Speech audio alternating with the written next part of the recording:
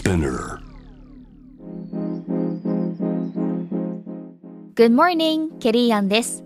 11月15日火曜日、世界で今起きていること。このポッドキャストデイリーブリーフでは、世界で今まさに報じられた最新のニュースをいち早く声でお届けします。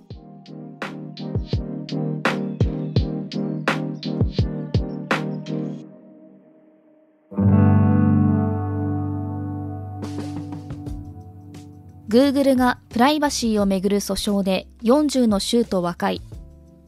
Google は位置情報の追跡機能をめぐり、アメリカの40の州との間で3億9150万ドル、日本円でおよそ547億円を支払うことで和解しました。ユーザーがこの機能をオフにしても、実際には Google が検索や地図アプリなどを通じて位置情報を収集していたとして、各州の司法長官が提訴していました。アマゾンが人件費抑制に本腰。アマゾン .com がおよそ1万人の従業員の削減を計画していると複数のメディアが報じています。オンライン需要が減速する中、同社はコスト削減を進めており、すでに新規採用を取りやめています。IT 大手ではメタやツイッターも大規模な人員削減に踏み切っています。一方、アマゾン創業者のジェフ・ベゾスは、生きている間に自身が所有するおよそ17兆円に上る資産の大半を慈善事業に寄付すると表明しています。イギリスのパブが閉店を余儀なくされている。政府当局によると、インフレの加速が止まらないイギリスでは、パブのビールが平均9%近く値上がりしています。イギリスでは電力価格の急上昇のために採算が取れなくなるパブが急増しており、全国で1ヶ月あたり50店以上が閉店を余儀なくされています。イランのヒジャブ着用抗議デモの参加者に死刑判決。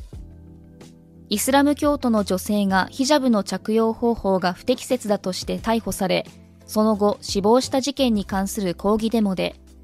テヘラン革命裁判所はデモの参加者1人に死刑判決を言い渡しました。イラン国営通信によると、被告は政府施設への放火などの罪に問われていました。人権団体イラン・ヒューマン・ライツは、デモをめぐってこれまでに少なくとも計326人が治安部隊に殺害されたとしています。アルツハイマー特効薬の実現はまだ先。スイスの製薬大手ロシュホールディングは、開発中のアルツハイマー病治療薬ガンテネルマブについて、最終段階の臨床試験で効果が認められなかったと発表しました。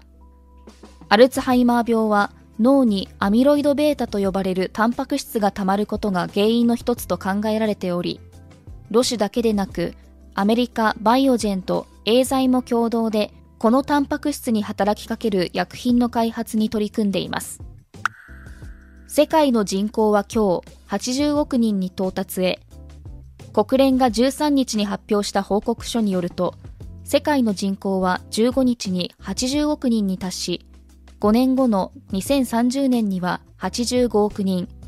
さらに2080年代には104億人にまで増えると予想されています。